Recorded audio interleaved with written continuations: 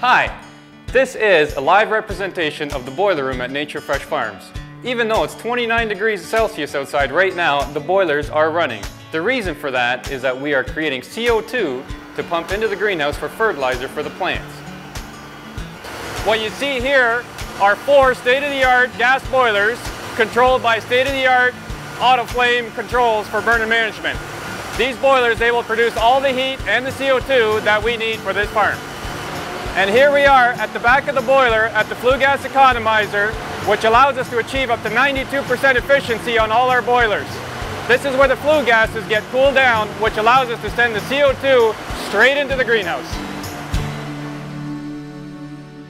And these are our massive hot water storage tanks.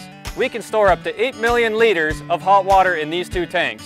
During the day, when we produce CO2 for the plants, the byproduct would be heat, which we will store in these tanks and we will use them, that heat, at nighttime to keep our greenhouse nice and warm.